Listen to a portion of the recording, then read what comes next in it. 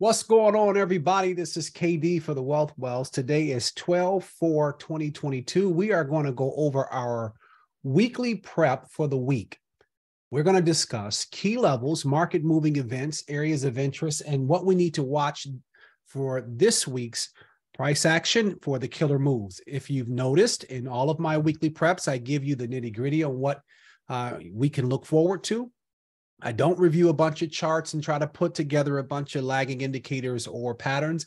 We review the actual market data, actual levels to know when to get involved. Now, if you watched the if you watched any of the trades from last week, then you know, or I'm sorry, if you watched any of the um uh, our, our, our market preps from last week, then you know that uh, last week I said that we would look for, we should look for a a um a rally right? A year in rally that still, I believe we'll still get more of that, but we did see some of that rally start this week. So um, let's talk about last week a little bit, and then we'll talk about what we can look forward to this week, uh, and um, you know, kind of what I expect to see, what I'd like to see in the market. Right? No bias, just a uh, just a thesis that we'll we'll put together.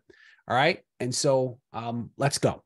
All right. So so so last week on Monday, the markets really were pinned up to that 4100 or 4000 area, sorry, on SPX and, and and corresponding levels on the futures. Market opened up there, sold off to 3960, right where we saw some chipping around. Really the markets was wound up very tight up into Jerome Powell, you know, making his announcements, right? Um, you know, and so and we saw that reflected in IV, we saw that reflected in the options chain as well, okay?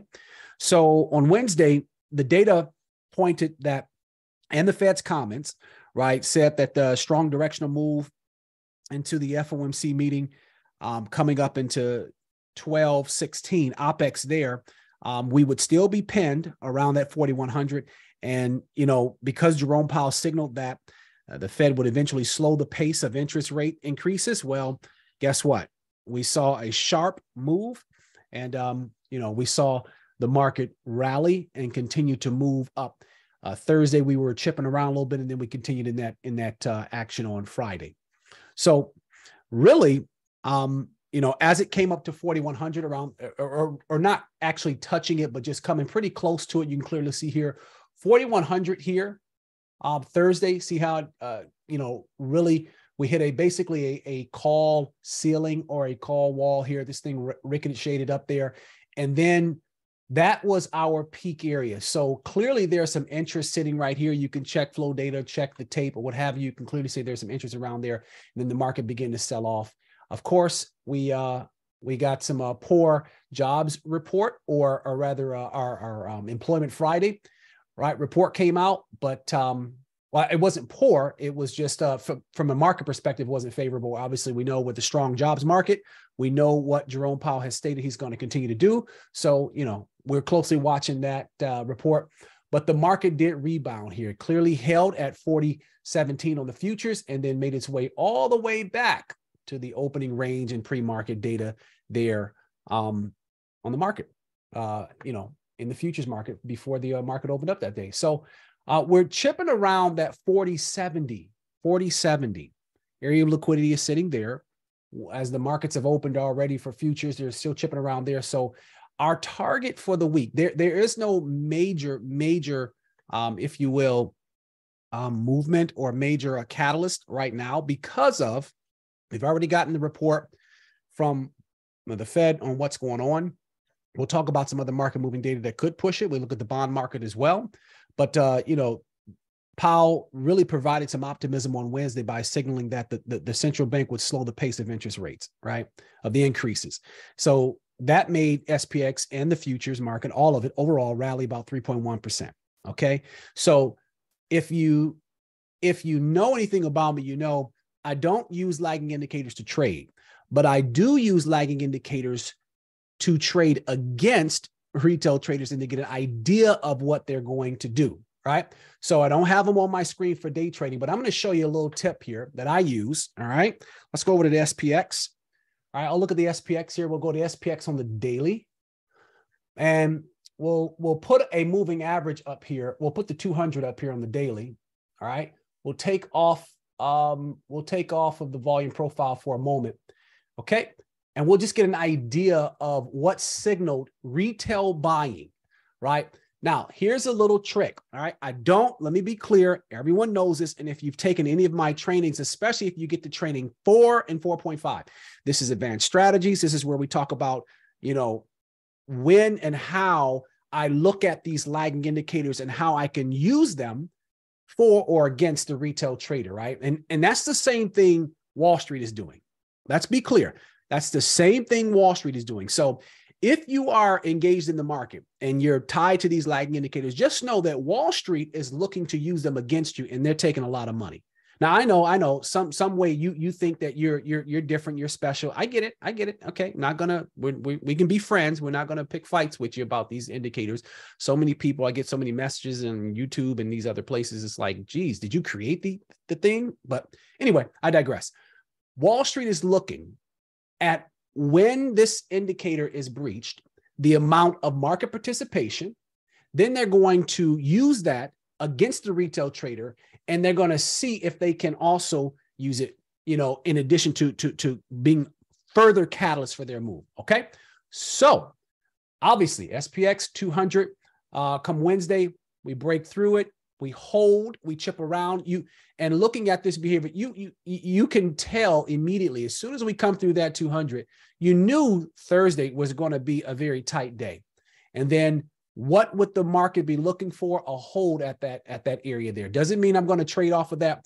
All i'm looking for is where retail traders are going to get engaged. You can you know you can write some calls you can write some positions there. You can do whatever you want. You can you know spreads whatever you want based on this data right here okay?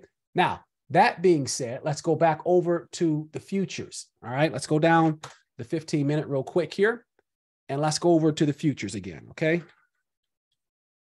So, looking at the futures here, with this market being a very news driven, bond driven, geopolitical news driven market, um, anything, any bad or any good news can can bring volatility into the market, and we like that. So back here, Jerome Powell, Thursday chipping around, Friday employment, we hold 4070 or 4017, sorry, and we're back to 4 uh, 4070, and then likely we want to come back up and retest 4100. So what do I look for this week? Just looking at the data so far, I would like to see us hold these areas. This would signal that there's still a little bit of strength in the market and that that uh, year-end rally that I am expecting will persist. We've already it's already started, will persist. Now, as strange as it may sound, that year-end rally is uh, you know, is is typical, but um, because of the geopolitical news and things happening in the market, you you in the inflation and all, you wouldn't really expect it. But because of Jerome Powell's dovish comments, then I expect us to continue to move. Now, once we get over this 4100 hump around this area right here, uh, the next two targets that I'm going to be looking for to the upside, obviously 4137, 4150. And we'll take it from there. We'll go, we'll go and hit our targets as we go. Obviously, this isn't all the levels here, but that's kind of what I'm looking for on um, the futures market there. Now, let's talk about market moving data. All right. As normal, for those of you who don't know, you can certainly click the link uh, somewhere attached to this video and you can come into the Discord. As long as you abide by the rules, then you can crush it with the rest of us every single day. Here's my schedule here Monday and Friday, top of the day. Uh, I crush it period. You want to see how good a guy is or a girl is, you want to see how good somebody is in trading, come into Discord. You can see how good I am or not. You can see all of the things you want. You don't even have to, you know, you don't have to believe any of the YouTube stuff. You can just come right in here, right? As long as you abide by the rules, you're good. I would spend some time reading the testimony. Real people. I can't make this stuff up. Real people, real profits, crushing this thing every single day. That's what I like to see. Then book some training. All right. Just take the training, You'll thank me later. And then I'll be in here in the SPY only options room crushing this thing every single week. All right. So so let's go over to the um let's go over to the let's see here. I think it's a general channel here. Let's take a look at the week.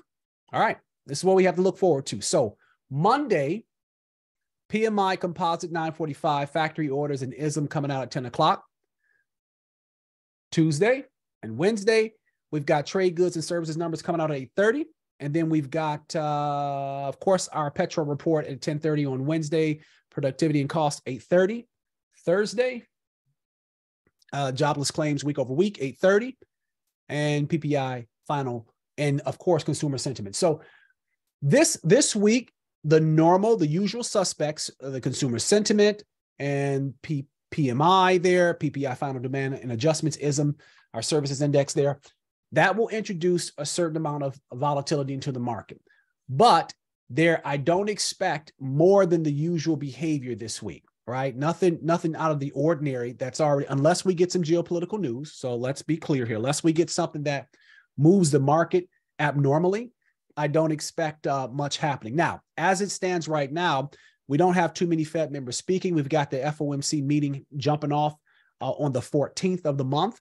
And then Feds, for the most part, are will be on hiatus from speaking, and then of course we go into the holiday season. So we are primed to have a nice little rally, um, and for the rally to continue. Let me just say that for it to continue, uh, Jerome Powell's comments would be the catalyst for that. So with that being said, how about we go over to SPY? We take a look at it. All right, let's take a look at SPY. Okay, so we tested 407. Of course, this isn't all the levels. So let's be clear. The levels are posted in the Killer Whales private channel. These private channels right here where I post um, extra information, audio training. We trade the futures, we trade stocks, we trade swing trades in there. Now that we're moving, uh, swing trades will pick back up. And then we do trade discussions, trade plans, trade breakdowns, all that cool stuff to get people on the right track. And then my call outs are here. When I'm not in the main channel, I'm in the Killer Whales channel. All right. So to the upside, looking for a retest. I want to see how the futures market opens up. Okay. I will uh, allow the overnight session to shake out. I will trade the futures tonight. I'll put some call outs in there as well. Um, you know, after hours here in, in the in the um, if there's supporting volume in the move there, I'll be looking for a move there on the futures. But I'm really looking for a retest of um, Friday's high here. And if we break that, then ultimately we want to come up to 410.51. That's where we want to go. Beyond that, the levels in between there, and as we go beyond that, then um, those will be posted in the private channel. And that is our week there. Now, the last part of our week that we need to talk about, I try to get through this in about 15 minutes. I'm almost out of time, is earnings. Of course, all you meme stocks and all you, you know, lovers, there's GameStop. Okay, all right. Uh, there's not a lot here that I'm watching aside from Costco. I'll be watching that. Ciena, I'll be watching that. But there's not a lot here that I'm watching that's uh, going to Im- impact the market too much. So if you are taking an earnings play, you know you're gambling, but you should definitely do your due diligence and understand. Uh, but it would be appropriate to, for you to come into the, some of these after mark um after they they report toll brothers keep in mind that's di- directly impacted by the real estate market so you already know what the real estate numbers are so far so do your due diligence on that but um that's what we're looking for so if we go back over to the futures all right. All right. We're holding at 4070. And I'm looking for, at some point, I believe we're going to just, you know, range in this area right here.